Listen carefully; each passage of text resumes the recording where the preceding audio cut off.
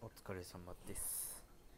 えー、2017年2月17日金曜日15時39あ40分になっちゃった。はい。久しぶりの生活というかねこういう動画ですね。今まではねあの ETS っていうゲームのねライブを配信してたりしたのでこういう動画は全然上げてなかったんですけども、まあ、ネタはないと。ね、ネタはないっすね。なんかネタあんのかな？撮ればいいんだけど。で、まあ、前にも紹介した、シュナウザー2人と、プードル1人と。でねこれ、この子紹介したかな？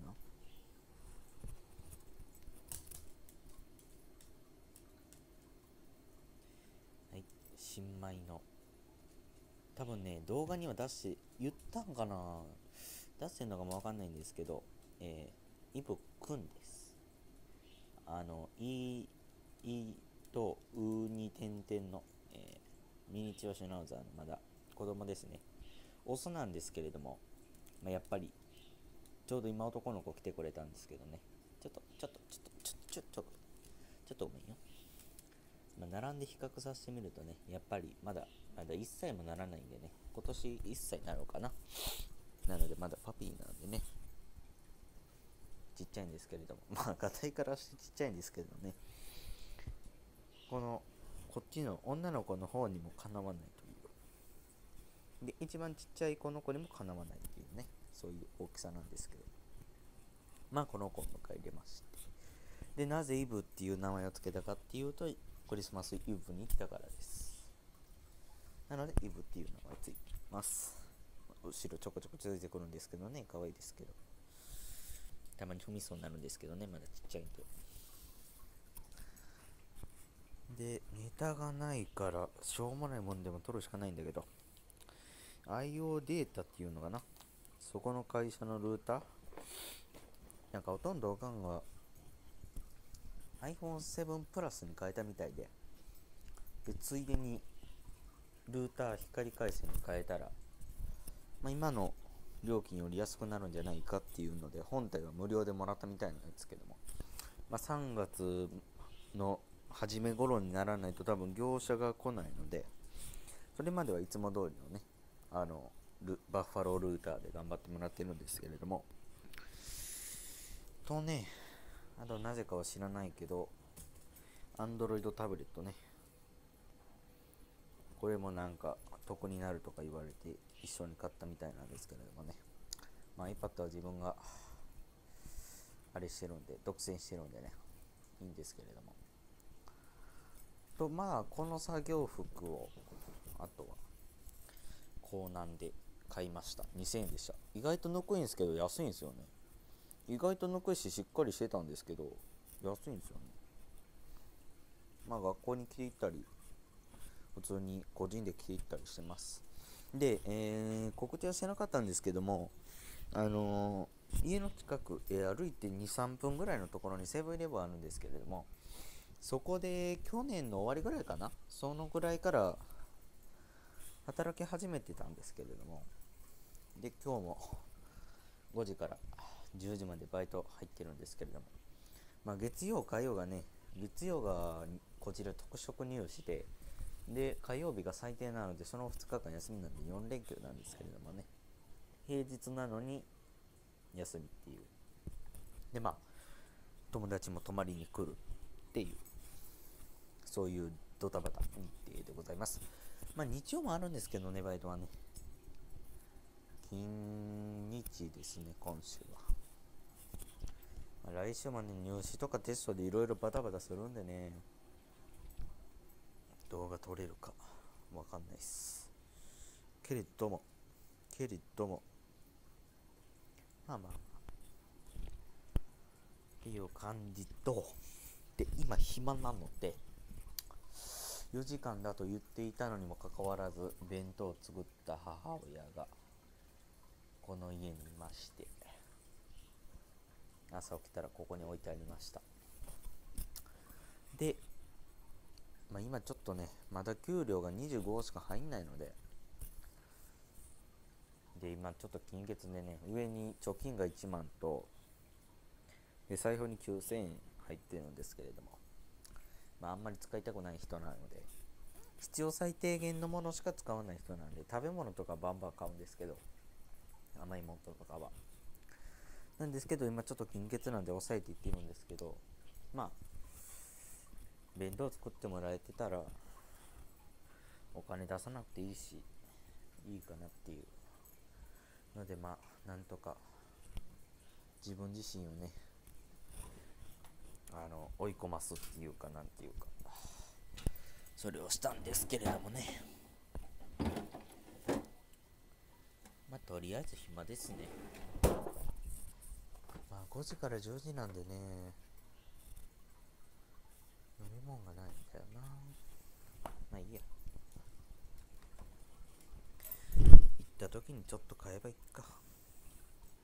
っていう感じとと言ってみるとあともう一つ言うとこれです今耳につけてたんですけどこの iPhone 専用の、まあ、イヤホン。純正じゃないんですけどドンキで2000円で買いました、まあ、意外とね2000円の割には音も良くて iPhone のイヤホン特有のあの長時間かけてると耳が痛く耳の縁が痛くなるっていう現象も見られてるんですけど。まあまあ周りの音も聞こえやすいし使い勝手はいいかなと思って買いました。で、えー、まあね前のオーディオテクニカのイヤホンも、えー、あります。けれどもまあ今はこっち使ってますね。最初はちょっとね違和感あったんですけどやっぱり慣れましたね。2日3日つけると。まあ、一日中これ使ってるんじゃないかな。音楽聴くとき以外音楽聴くときはやっぱり重点欲しいんでね。使うんですけどね。オーディオテクニカさん。うーんあとなんか伝えることあったっけな。あんまり長くしたら長くしたでこのアップロード時間がクソかかるんだよな。うんなんかあったっけかなあそうだ。先週の金曜日この階段からずり落ちましてお尻を負傷したっていう事故も起こりましたけれどもうずくまって10分ぐらい10分かっていうか5分くらい動けなかったんですけどその場から。でちょっとね変わりましたね。ベッドは元からここにあったんですけどでこれがどこにあったこっちになったのかな？こっちに持ってきてで、えーこの椅子買ってこのねテーブルこれも買ってまあ下にいろいろとパソコンハンコン類が入っててシフターですね。なんですけどまあこのゲーム環境がちょっとゲーム環境がちょっと変わりましたというぐらいですかね。ですかね。でまた w i f i が光回線になったらまたそれを向かいの中継機に接続しないといけないっていう面倒な作業が待ち受けてるんですけれどもね、まあ、自分のゲームのために、えー、皆さんがあのユーロトラックシミュレーターのあれを見ていただいてほしいので、まあ、とりあえず設定は頑張りますけれども、まあまあまあまあ、っていう感じで。で、えっとね、何言おうとしたんだっけな。なんか言おうとしたような気がしたんだけど。いろいろとね、ありましてね。なんかいろいろとありましたよね、最近。バイトも増えたり。休みの日には眠れなかったりと。休みの日なのに朝っぱらから起こされて手伝わされると。そういうこともいろいろ起こってますけれどもね。まあ頑張って生きていくしかないですね。